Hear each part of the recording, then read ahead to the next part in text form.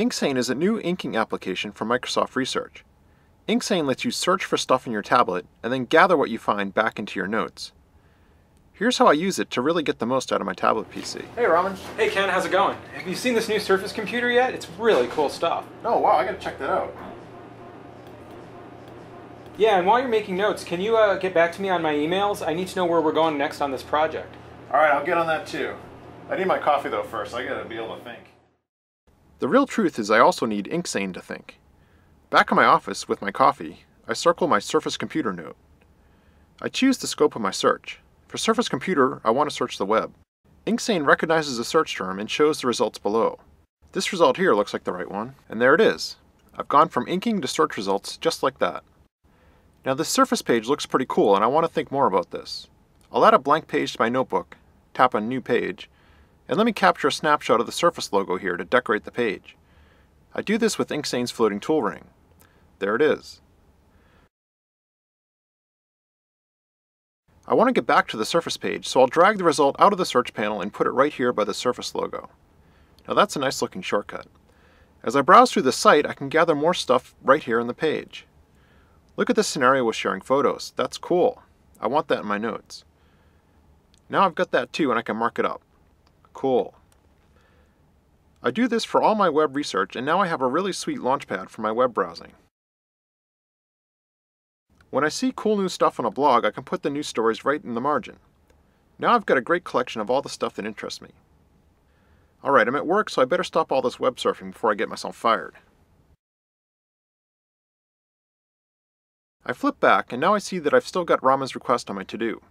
What I really need is for Raman to code up some of the ideas that Shen, our summer intern, developed for us last year. Now I was thinking about Shen this morning, and I already created a search for him on my to-do. All I gotta do is open the search again, and here are all my emails and documents and stuff that I did with Shen. That's a big advantage of having all my searches saved in place right in my ink notes. Now here's a key email from Shen. I'll add that to my notes. But there's a lot of stuff here. I'm not gonna scroll through all that. Let me just see the Word documents. Yes, here's a couple of the docs he prepared for me. I'll need those. I remember he had a presentation too. Let's look at the PowerPoints. There it is. I'll add that too. Now I've got all the information I need to synthesize right here with my search. Let's open that presentation. Here it is, this piece here. This is what I want Raman to work on. Let me grab that. I'll mark it up, and now I can send it to him. I'll fill him in, the details in those other documents later. It really makes my life a lot easier to have all my stuff right there, accessible with the stroke of the pen, save with my notes about the project. InkSeine has these quick gestures I can do for common commands. So for example, since I use InkSeine a lot, I know I can just stroke down in a document to open it. See, there's open in the menu. Once I learn where open is, I can get at the document in a fraction of a second. It's fast and really feels nice with the pen.